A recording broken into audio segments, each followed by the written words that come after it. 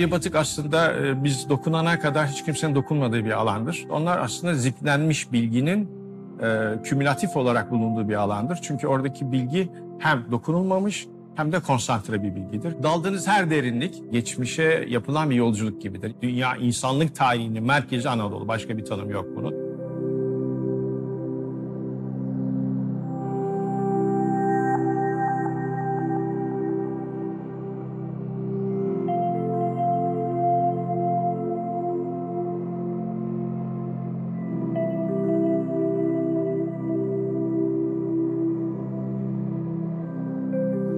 Merhaba. Hafir yani arkeolojik kazı başkanları programında sizi e, Türkiye'deki farklı e, kazılardaki kazı başkanlarıyla buluşturuyoruz. Anadolu öylesine zengin bir coğrafya ki sadece yer üstünde değil, suyun altında da birçok hazine ve kalıntı var.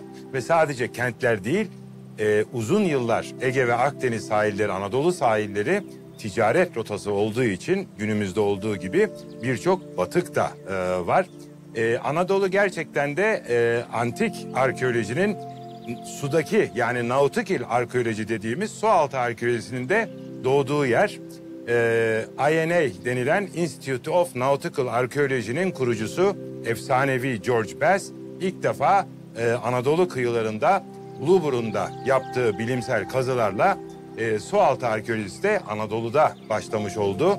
İşte e, biz de bugün Bodrum'a geldik. E, sualtı arkeolojisi denince elbette akla Bodrum Sualtı Arkeoloji Müzesi geliyor. Dünyanın en büyük, e, en e, önemli müzelerinden demeyeceğim müzesi.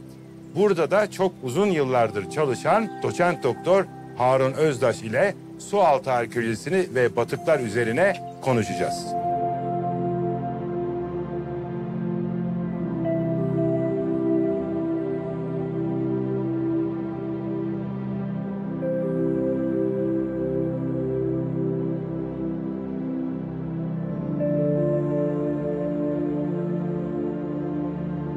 Doçent doktor Harun Özdaş. 9 Eylül Üniversitesi Deniz Bilimleri ve Teknoloji Enstitüsü öğretim üyesiyim. Ee, yaklaşık e, 30 yıldır sualtı arkeolojisi alanında aktif olarak akademik çalışmalarımı yürütüyorum. Bunun bir bölümünü Kültür Bakanlığı bünyesinde görev yaptığım yıllarda akademik yaşantımı ise 2002 yılından beri 9 Eylül Üniversitesi'nde devam ettirmekteyim. Hacettepe mezunuyum. Lisans, yüksek lisans, doktoramı Hacettepe'de yaptım. Post doktoramı Amerika'da Texas A&M Üniversitesi'nde ee, Almanya'da Marburg Üniversitesi'nde, Philip Marburg Üniversitesi'nde bir yıl kadar ders verdim. Ee, iki defa da araştırma için tekrar Amerika'da e, Duke Üniversitesi'nde ve Dumbarton Oaks'ta araştırmalarda bulundum. Akademik yaşantım kısaca böyle. Ee, yaptığım çalışmalara gelirsek eğer genellikle sualtı arkeolojisi içerisinde e, gemi arkeolojisi yani nautical dediğimiz denizel arkeoloji alanında araştırmalar yürütüyorum. Sualtı arkeolojisi benim için çok enteresan, başlangıcı oldukça ilginçtir. Onu söyleyeyim çünkü e, bizim kuşak e, Jack Cousteau'yla yani Kaptan Cousteau'yla yetişmiş bir kuşak. kuşak. E, sualtı dünyasını onunla biz tanıdık. O yüzden sualtı dünyası her zaman ilgimi çekmiştir. Bu nedenle bir sempozyum sırasında o, o yıllar yeni başlamış olan Uluburun batığına izleme imkanı bulmuştum. Ve bu çerçevede e, Uluburun Batığı'na nasıl katılabileceğimi sormuştum kazı başkanına. Kazı başkanı da beni Bodrum Müzesi'ne yönlendirmişti. Ve Bodrum'a gelip sualtı arkeolojisi alanında nasıl çalışacağımı sorduğumda önce dalgıç olman gerekir dediler. Ben de buna bağlı olarak dalış eğitimi aldım ve ilk defa e, 1985 yılında Sualtı Kurtarma Komutanlığı'nın açtığı bir sınavı kazanarak e, profesyonel dalış belgesini aldım. Daha sonra da bu dalış eğitim sürecim devam etti ve e, eğitmen balık adamlar kadar geldi. Aslında başlangıç Jack Cousteau, Jabal Plak, e, e, George Bass olmak üzere sualtı arkeolojisine böylece giriş yapmış oldum. Sertifikamı aldıktan sonra işte Uluburun'la başladım aslında. Yani Uluburun'u 1986 yılında ilk katıldım ki başlayalı 2 yıl olmuştu. Ve 45-55 metre derinliklerde 7 yıl, 7 sezon çalıştım. Ee, oldukça derin bir batıkta, oldukça derin çalışmalar oldu ve e, hayatımın en keyifli dönemiydi onu söyleyeyim. Çünkü oldukça heyecan verici buluntular ihtiva ediyor. Uluburun bugüne kadar bulunan dünyanın en eski batı olmasının ötesinde aynı zamanda dünyanın en zengin batıklarından bir tanesiydi. Ve bu çerçevede aslında sualtı dünyasına ve sualtı arkeolojisine başlamış oldum. Ee, ama önemli olan bir nokta var, onu belirtmem lazım. Yani bir batık aslında biz dokunana kadar hiç kimsenin dokunmadığı bir alandır. Yani hiçbir canlı ona temas edemiyor ta ki biz dokunduğumuz andan itibaren aslında o görünür olmaya başlıyor. O güne kadar denizin bizden sakladığı bir e, buluntu topluluğu olarak tanımlamak mümkün. E, batı birazcık daha böyle hani e, farklı bir konseptten e, incelememiz gerekirse onlar aslında ziplenmiş bilginin e, kümülatif olarak bulunduğu bir alandır. Çünkü oradaki bilgi hem dokunulmamış hem de konsantre bir bilgidir. Yani içinde yaşayan insanlar, kargo, geminin kendisi hepsini bütün halde bulabilirsiniz. Peki aranızdaki engel nedir diye sorarsanız aslında önemli bir sorudur bu. Su kütlesinin kendisi. Yani su aslında deniz bizden çok e, bilgi saklayan, saklamak isteyen bir yapıya sahiptir. O yüzden suyun altında birçok şey denizin getirdiği bir e, yapısal e, değişikle e, kamufle edilir. Hem bitkilerle hem değişik canlıların üzerine yapışmasıyla falan. E, o su kütlesini a- aştığınız andan itibaren ise bu geçmişe açılan bir kapı olarak karşınıza çıkar. E, daldığınız her derinlik, bunu birazcık da böyle farklı bir boyuttan bakmanız da mümkündür. Yani geçmişe yapılan bir yolculuk gibidir. Yani 45 metrelik Uluburun batı e, her metresinde yüzlerce yılı kat ederek e, 3400 yıl öncesine seyahat ettiğiniz bir zaman kapısı gibi düşünmeniz lazım. Ki 1400 yıl öncesinden 20. yüzyıla da 55 metre derinliği kat ederek çıkmaktasınız. Yani su kütlesi temelde sizi geçmişle gelecek arasında ayıran fakat o ayrılan alanı kat ettiğiniz andan itibaren ise geçmişe ulaşabildiğiniz bir e, boyut kapısı gibi bulunur.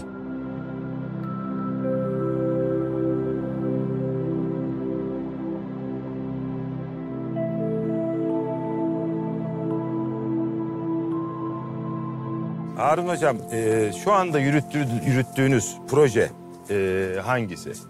Şimdi halihazırda yürüttüğümüz aslında üç tane proje var. Fakat bu sene e, devam edeceğimiz Kızlan Osmanlı dönemi, Datça Kızlan Osmanlı dönemi batı. Aa, Osmanlı dönemi Evet. batı kazıyorsunuz. Evet, Osmanlı dönemi batıyı kazıyoruz. O da çok ilginçtir. Bir e, e, buluş, daha doğrusu keşfimiz e, enteresan bir e, bilgi doğrultusunda gerçekleşti. Bakanlık bir kurtarma, bir tahribat sonrasında kontrol etmemiz için bizi yönlendirmişti. Oraya gittiğimizde çok sığdı aslında, 3 metrede. Bir batıkla karşılaştık. E, ahşapları bayağı bir geniş bir alanı kapsıyor aslında baktığınızda. Yani yaklaşık e, 23 metreye 7 metre genişliğinde bir ahşapla karşılaştık ama kumla gömülüydü. Normalde 3 metrede çok fazla bir şey beklemezsiniz biliyorsunuz. Yani çoğunlukla gemi aslında batık diyoruz buna ama karaya oturmuş. Sonra e, sancak tarafına yatmış. Üst bölümü çürüyerek e, doğal nedenlerle e, kaybolmuş ya da tahrip olmuş ya da yöre halkı tarafından belki tahrip edilmiş. Evet. Milattan sonra 18. yüzyıl yani 1750'den sonraki bir dönemde battığını düşünüyoruz. Tam kesin tarihlemeyi henüz yapamadık. Bir de kimliğini tespit edemedik. Fakat büyük olasılıkla bir Osmanlı gemisi. Çünkü içindeki buluntular bize Osmanlı gemisi olduğunu göstermekte. Çok zengin bir buluntu topluluğu karşımıza çıktı. Büyük sürpriz. Aa, evet. Çok büyük sürpriz yani. Birazdan laboratuvarda göreceksiniz onlara ait olan buluntularımızı. Ee, iki sezon çalıştık aslında. Üçüncü sezonunu bu sene gerçekleştireceğiz. Ee, gemi e, geçen sene yaptığımız çalışmada e, kıç tarafından çekti, arkadan çekmekte oldu. E, destek gemisini de bulduk bu arada. O da orada batmış. Aa, bir de Evet. destek gemisi destek çekiyor. gemisi de var. Aynen, arka tarafta Yedeklemiş. genellikle yedeklediği ve e, belki lojistik amaçlı kullandığı, sahile gidip gelmede kullandığı küçük bir teknesi var. Bizim bugün dingi Aynen. veya bot dediğimiz Aynen tarzda. doğru. Onu da tespit etmiş olduk. Su- Suyun altında o da yatıyor. Yani büyük sürprizlerle dolu bir batık oldu bizim için. E, Ve büyük olasılıkla yakın bir tarihte Bodrum Müzesi'nde belki kazı sonrasında sergilenebilecek bir durumda. İlk çalışmalarımızı da Bodrum Müzesi Müdürlüğü ile ortak birlikte gerçekleştirdik. Peki bir savaş gemisi mi? Bunu söyleyecek durumda Güzel mısınız? bir soru, evet. Şimdi şöyle, e, savaş gemisi olma ihtimali yüksek. Fakat toplarının tamamı alınmış, askeri mühimmatın tamamı çıkarılmış. Tüfekler, tabancalar, e, misketler, gülleler, e, barutlar, barutlukları tespit ettik. Ha, onların hepsi Tip olarak var. Hepsi var ama ağır mühimmat e, gemide yok. Bu da e, iki nedenden ötürü. Birincisi karaya oturup iskele ya da sancağa batmış gemi. Bu arada hem geminin personeli hem de belki sahilde bulunan e, yerli halk tarafından bunların büyük bir bölümü alınmış, yağmalanmış ya da çıkarılmış. E, Osmanlı döneminde de kurtarma operasyonları yapılıyor tabii şeylerde, batan gemilerle ilgili. Diğer bir ihtimal ise e, bu geminin bütün mühimmatının, işe yarayan malzemenin hepsinin çıkarıldığı yönünde. Şimdi e, tabii e, laboratuvarda görüyoruz makaralar, e, gemi marangozuna ait olan alet çantaları, tabaklar, kaşıklar, kevgirler, kazanlar, efendime söyleyeyim. e, bunun gibi çok değişik, çok sayıda pipo, e, birçok değişik e, malzemeyi görmemiz mümkün olacak. E, sonuç olarak e, Osmanlı dönemi batığını kazıyoruz. Kimliğini henüz tespit edemedik çünkü arşivlere baktık henüz Osmanlı arşivlerinde orada batmış gemiye ilişkin bir veriye ulaşamadık. Artı Venedik arşivlerine de baktık. Onunla da ilgili bir şeye ulaşamadık henüz. Ya baktık derken e, onlarla bir bağlantı var. 1750'lerde bu sularda en çok gezen Venedikli tacirler Evet. tabii ve Evet. Osmanlı gemileri. Aynen. Yoksa Hisarönü Körfezi'ne Datça'ya gelip ne bileyim bir Alman İngiliz gemisi herhalde gelmez. Aynen çok doğru söylüyorsunuz. İtalyan kökenli. Şu İtalyan kökenli malzemelere de rastladık. Fakat ilginç tarafı şu. Çin porselenleri de var. Kütahya kahve fincanları var. Yani aslında çok bilinmeyen bir soru. Belki kaptan çok keyifli biriydi. yani Ama e, burada tabii en büyük, e, yani en önemli konu e, Çin porseleni aslında normal e, standart bir ailenin kullandığı bir e, mutfak takımı değil. evet. E, bu da gemide e, önemli rütbede birilerinin olduğunu gösteriyor. Bunlar Osmanlı olma ihtimali yüksek. Onu daha sonra aşağıda anlatacağım. Çünkü bulduğumuz bazı şeyler geminin Osmanlı olduğu yönünde e, bize çok daha destekleyici. Çünkü e, özellikle mühimmattan bazıları bize onu gösteriyor. Yani e, bu çerçevede porselenler, Kütahya ve Çin porselenleri, e, pipolar, Saraçhane pipoları, e, yaklaşık 40 tane pipo bulduk. Ağızda tütekleri de bulunan. E, şeyler, e, tüfekler ve e, tabancalara ait olan çok miktarda kurşun misket, yani kurşun e, misket diyelim, misket deniyor. E, ve barutluklar. Tabii bunlar bir bölümü.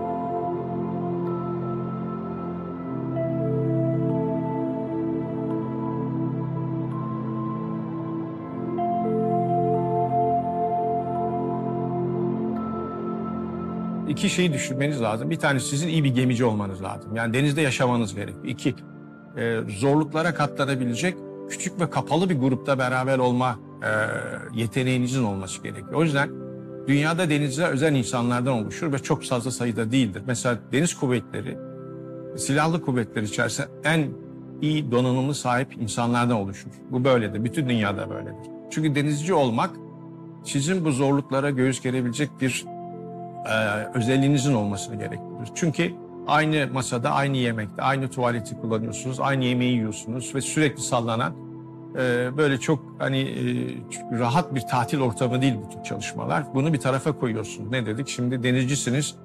Kapalı grup ortamını çözdünüz ve beraber e, insanlarla yaşayabiliyorsunuz. İkincisi ise en önemlisi suyun altına inmeniz gerekecek. Suyun altına inmeniz için de ayrı bir bilgiye sahip olmanız gerekiyor. Bunun için de scuba yani e, tüplü dalış sistemini bilmeniz gerekiyor. Şimdi tüplü dalış sistemi sizi iyi bir eğitmen balık adamı olmanızı gerektiriyor ki proje başkanı olarak ben eğitmen balık adamım. Yani böyle bir bilgi olmanız olması gerekiyor ki ekibi yönlendirebilirsiniz. Çünkü bizim projelere gelen insanların büyük bir çoğunluğu e, lisans, yüksek lisans e, eğitimi ya da doktora ya da akademik düzeyde olan insanlar oluyorlar ve onları siz yönlendiriyorsunuz. Bu bilgiye sahip olmanız lazım. Kurallar çok katı. O katı kuralları da uygulanmak zorunda. Uyamayanlar ayrılıyor. Mesela ekipte çok fazla insan geldi gitti. E, uyabilen sadece 5-6 kişi e, şu anda.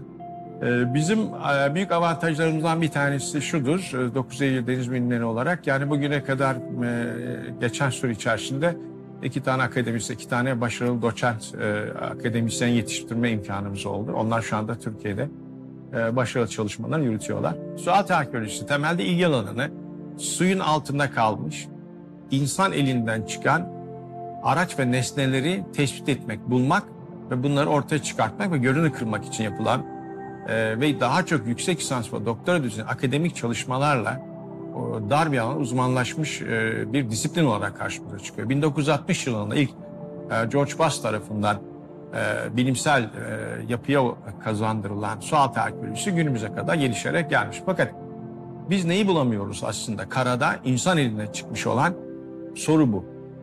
Nedir peki geminin kendisi? O yüzden insanlık tarihinin teknoloji sürecine baktığınız anda en karmaşık araçları gemiler oluşturur.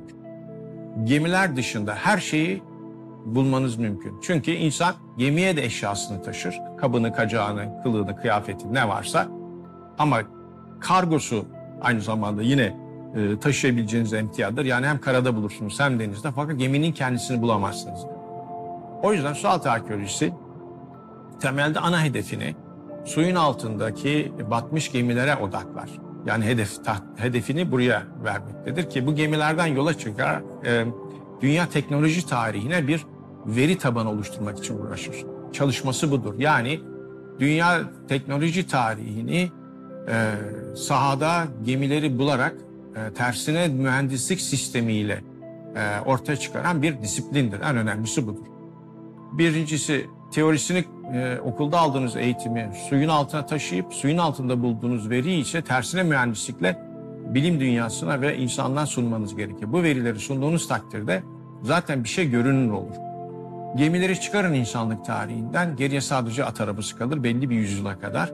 Ki o yüzden teknoloji çok önemlidir. Yani deniz teknolojisi ve insan aklı temelde denizde gelişmiştir. Çünkü onun önüne koyduğunuz bariyerleri aşmak için çözüm üretmeye çalışmış ve bunu hem yelkeni yani doğanın potansiyel e, gücünü kullanarak yelkenle hem de e, teknolojik olarak binlerce parçadan müteşekkil gemileri bir araya getirip aşmıştır.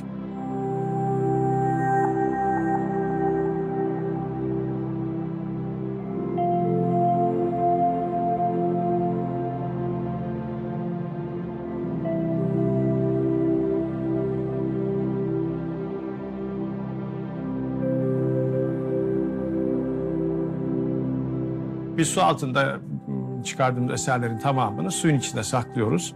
Onları su için, Tuzlu suda saklıyorsunuz. Tuzlu suda. Kendi or- Aynen. doğal ortamından Doğal çıkarmıyorsun. Doğal ortamına çıkarmıyoruz. Onları tuzlu su içerisinde Bodrum Müzesi'ne naklediyoruz. Bodrum Müzesi'nin büyük tankları var. Eserin boyutuna göre tabii. E, buradaki gördüğünüz biraz büyük bir eser. O büyük eserleri büyük su tanklarına, küçükleri de küçük kutular içerisinde belli bir konservasyon işlemine tabi tutuyorlar. Burada uzman konservatörler var Bodrum Müzesi'nin laboratuvarında. O arkadaşlarımız bizim çıkardığımız eserleri bu e, sürece tabi tutuyorlar. Önce tuzdan arındırma işlemi yapılıyor. Daha sonra bunların varsa bir restorasyon ve sağlamlaştırma süreci. Ondan sonraki süreçte de aslında e, kurutup e, daha doğrusu önce tuzdan arındırma, kurutma, ondan sonra gerekli restorasyon çalışmaları ve sergiye konulma sürecini geçmekte, geçilmekte.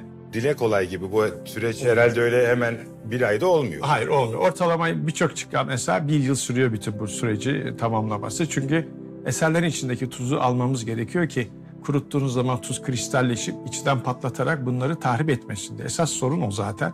Tuz en büyük problem.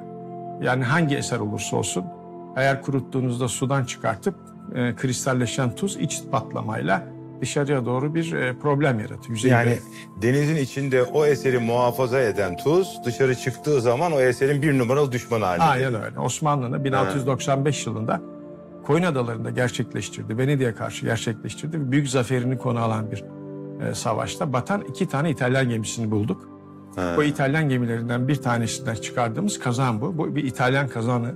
Yani Venedikli e, savaş gemisinde kullanılan ki amiral gemisi.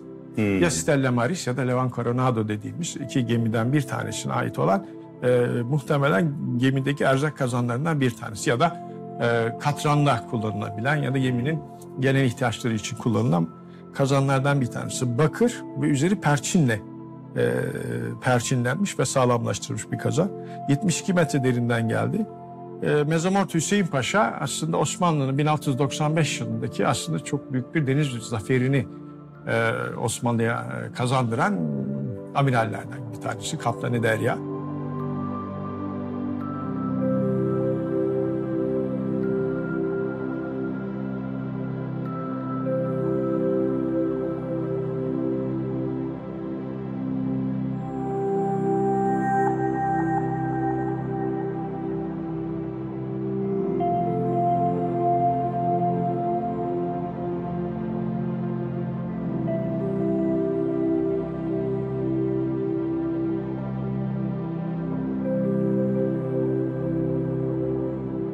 Dünya denizcilik tarihine baktığımızda Anadolu aslında çok önemli bir merkez oturmakta. Şimdi bu dünyanın merkezi m, olarak tanımlıyoruz biliyorsunuz genel anlamda baktığımızda ama hani haritaya bakarsak dünya haritasına e, Türkiye dünyanın merkezinde hani bu e, abiyane tabirle ya biz merkeziz değil gerçekten merkez biziz yani. Dünya insanlık tarihinin merkezi Anadolu başka bir tanım yok bunun. Şimdi Göbekli Tepe'den itibaren e, Anadolu'da kara parçasında bütün insanlık medeniyetinin yerleşim izini görebiliyoruz. Yani kesintisiz olarak görüyoruz. Yani insanlık mimarlık tarihi üzerine aslında temelde kurgularsak hepsini Anadolu topraklarında görmek mümkün. E Şimdi peki bu denizde nasıl diye sorarsanız. Yani mimarinin kesintisiz günümüze kadar izleyebiliyorsak bu topraklarda e, teknoloji tarihi nerede oturuyor diye sormak gerekir.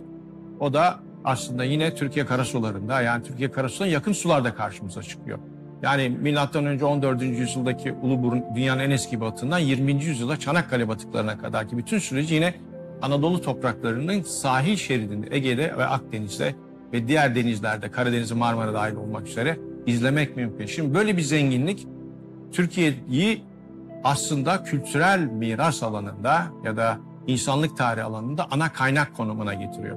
Biz zaten ne yapmak istedik yaptığımız çalışmalarda biz bunu Türk bilim insanlarının da bunu başa- başarabileceğini ve e, bilim dünyasına bir Türk ekip olarak e, sunabileceğimizi düşünerek yola çıktık. Yaptığımız çalışmalarda da başarılı olduk.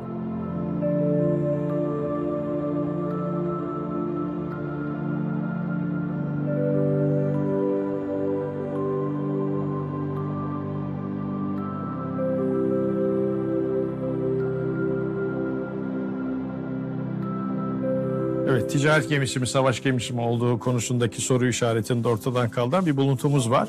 Bu da iyi durumda olan bir obje aslında. Yani gemide bundan dört ya da beş tane bulduk. Çünkü parçalı halde ele geçti. Bu gemilere gemideki topların namlusunu temizlemede kullanılan harpi, harbi denilen Evet. denilen ahşaplar. Ee, bu sap kısmı e, bir de namlu kısmı var. Namlu kısmı da burada. Buraya çaputu sarıyorlar ve e, yağlı bir şekilde şeyi e, namluyu temizliyorlar. Sonra tekrar koyup e, ateşleyebiliyorlar. Top gülleleri de bulduk gemide. Yani bize e, bunun söylediği geminin bir en az askeri mühimmat taşıdığını, toplarının bulunduğunu ama savaş gemisi mi yoksa ticaret gemisi fakat e, kendi savunması Hmm. için bir e, yeterince askeri mühimmatının bulunduğu bir gemi mi? E, bunu söylemesi gerekiyor. O ilerleyen kazın ilerleyen aşamalarında öğreneceğiz. Ayrıca tüfeklerin dışında tabancalardan söz ettim. E, tabanca, çakmak taşlı tabanca o da çok önemli. Kabzasını bulduk. Kabzasında hatta değişik bir e, fil dişinden işlemesi var bunun. Aynı tip kabzalardan da rastladık. Fakat e, muhtemelen o e, tabancalar tahrip olmuş durumda. Ha, siz o zaman güzel bir tabancanız da var. Evet güzel bir tabancamız da tüfeğimiz de var ama tabii bunlar demir olduğu için suyun altında uzun süre kalınca okside oluyorlar. Korunması çok zor objeler bunlar. Ee, konservasyon çok daha kompleks çünkü hem fil dişi hem kemik hem ahşap hem de e, bakır ya da bronzdan oluşan parçaların dışında demir çoğunlukla e, ihtiva ettiği için böyle karışık malzemeden oluşan eserlerin konservasyonu her zaman problem ve zor oluyor. Uzun meşakkatli bir süreç gerekiyor. Evet. Harun Hocam çok teşekkür ederiz. Ee, bize yani kısa zamanda hakikaten e, su altı arkeolojisini, e, konservasyonu, yaptığınız işleri çok özet bir şekilde anlattınız. Çok teşekkür ederiz. Biz teşekkür Kazılarınızda e, başarılar dileriz. Ben çok teşekkür ederim. Sağ olun. Bu fırsatı bize verdiğiniz için.